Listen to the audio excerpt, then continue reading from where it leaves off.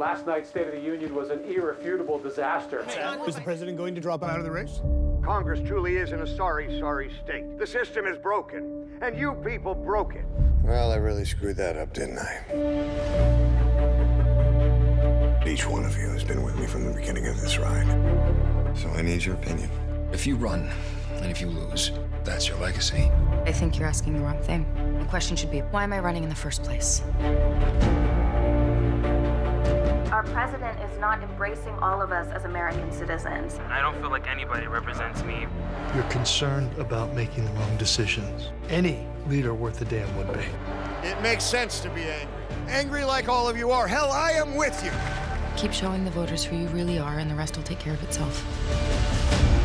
Think about whether you'd like to join the ticket as Kirkman's vice president. Why would you keep this to yourself? What the hell were you thinking?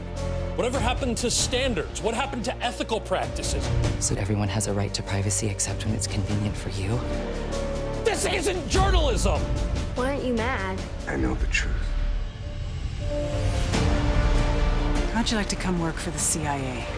There's been an outbreak in Toronto. We need to make contact before an unfriendly does. We have to be prepared for the possibility of a bioterrorist attack.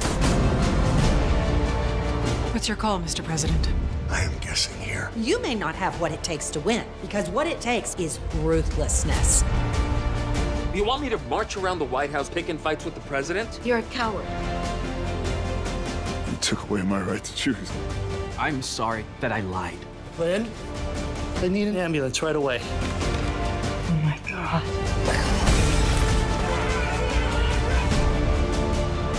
Gone all in for what I think is right for the heart of this country. You hold yourself above politics.